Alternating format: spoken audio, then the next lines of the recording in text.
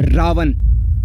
जिसने माता सीता का अपहरण किया और इसके रिस्पॉन्स में प्रभु राम अपने पीस मैसेजर्स भेजते हैं, अंगद और बजरंग बली को। सीता माता को छोड़ देने के लिए। लेकिन जब रावण नहीं मानता तो यहाँ पर एक युद्ध होता है, जहाँ पे अच्छाई की जीत होती है और बुराई की हार, और रावण मारा जाता है। ये कहानी सुनने में कितनी सिंपल लग रही है ना, पर उतनी है नहीं, क्योंकि आज का सोशल मीडिया पर अगर हम कुछ ऐसी पोस्ट देखें इस नाम को कोई कैसे मिटा सकता है?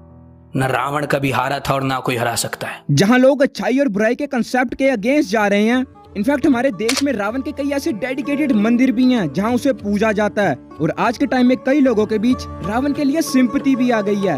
लोग रावण के किए गए कामों को जस्टिफाई करते हैं और रीजन देते हैं कि उसने आखिर ऐसा क्यों किया। तो इस वीडियो में हम रावण की सोच, उसकी आइडियोलॉजी को डीप में जानेंगे और ये पता लगाएँगे कि क्या वो असलियत में लोगों की सिंपति का हकदार है? मैं रावण के दर्शन करना है। बुद्धि विद्यालय आई हूँ। रावण हम लोगों के कुल का राजा है। विद्वान है इसलिए हाँ सबसे बड़ा ज्ञानी है। उनको लोग गलत कहते हैं पर वो गलत नहीं है। अगर उनका इतिहास देखेंगे तो वो बहुत अच्छे विद्वान पंडित हैं।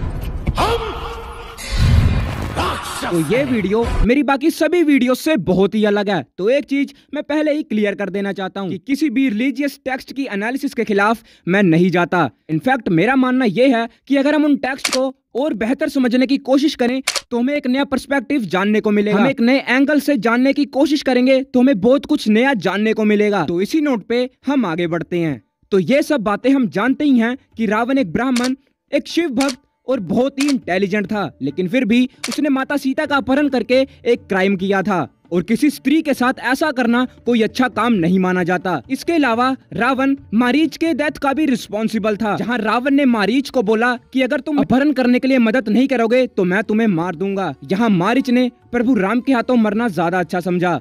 इसके अलावा रावण जटायु को भी मार देता है जब वो सीता माता को बचाने के लिए आ रहा होता है रावण से। और इन सभी बातों पर लोगों द्वारा ये बोला जाता है कि वो एक शिव भक्त था, एक ब्राह्मण था, और ब्राह्मण के संस्कार बहुत ही अच्छा होता है। लेकिन ये किस तरह के संस्कार हैं जो किसी स्त्री को इस तरह से डिसोनर करे?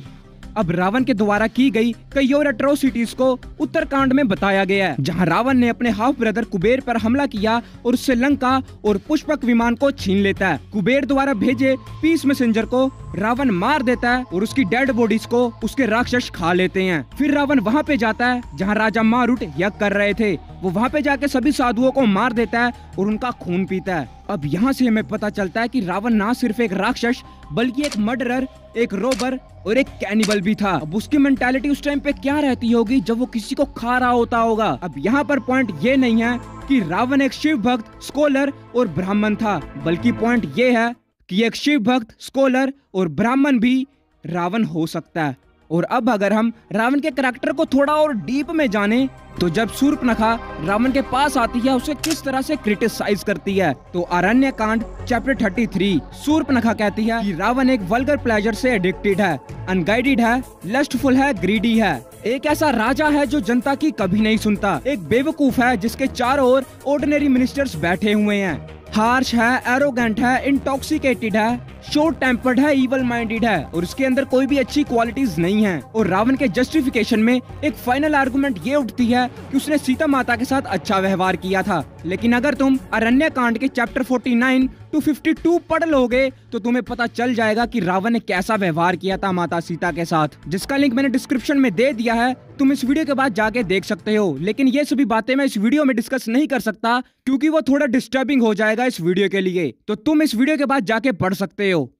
सुंदरकांड चैप्टर 22 श्लोक आठ और नौ। रावण सीता माता को धमकी देता है, उन्हें बोलता है कि अगर तुम दो महीने के अंदर मेरी पत्नी बनना स्वीकार नहीं करोगी तो तुम्हें किचन में भेज दिया जाएगा, तुम्हें पकाया जाएगा और तुम मेरा नाश्ता बनोगी। अब यह किस एंगल से तुम्हें रिस्पेक्टफुल मैनर लगता है? और एट दी एंड रावण एक बुराई का सिंबल है। और तुम्हें इस वीडियो से क्या लेसन मिला? मुझे कमेंट्स में ज़रूर बताना। और अगर तुम फ्यूचर में ऐसे ही करेक्टर रेडियोलॉजी वीडियोस को देखना चाहते हो कमेंट्स में बता सकते हो कि तुम्हें किस करेक्टर पे चाहिए। और इस वीडियो को ज़रूर लाइक करना यार, काफ़ी मेहनत लगी है इसको बनाने के लिए। और इसको ज़्यादा से ज़्यादा शेयर करो अपने फैमिली में, अपने मित्र मंडल में। और चैनल को सब्सक्राइब करना मत भूलना। और अब हम मिलेंगे नेक्स्ट वीडियो के अंदर।